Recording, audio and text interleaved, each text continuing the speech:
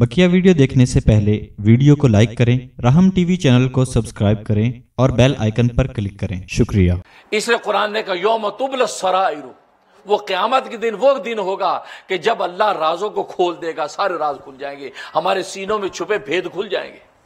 ہم یہاں تو بظاہر دوست بنے ہوئے تھے، اندر سے منافق تھے۔ بظاہر تابدار بنے ہوئے تھے، اندر سے عداوت تھی، اندر سے حسد و بغض اور کینہ تھا۔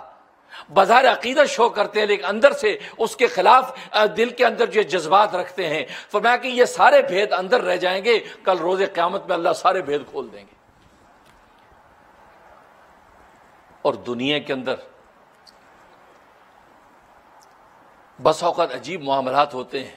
حض حکیم الامت، مجدد ملت، مولانا شف علی تھانوی رحم اللہ تعالیٰ فرماتے ہیں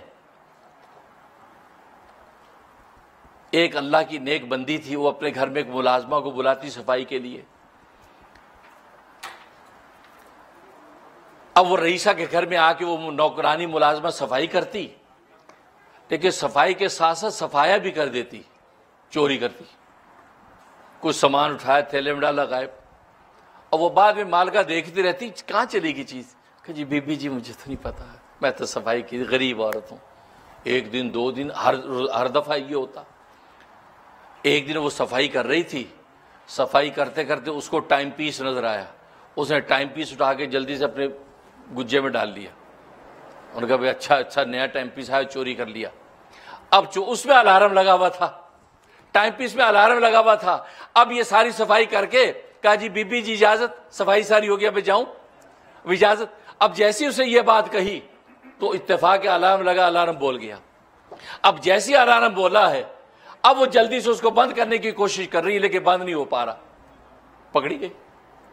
بس، اللہ نے یہ بات کی، یوم تبل سرائر فما من قوت ولا ناصر۔ جیسے اس سے ٹائم پیس بند نہیں ہو پا رہا اور میں کل روز قیامت میں تمہارے راز کھولیں گے، تو پھر تمہارے پاس نہ کوئی طاقت ہوگی اس کو چھپانے کی، اور نہ تمہارا کوئی مددگار کھڑا ہوگا۔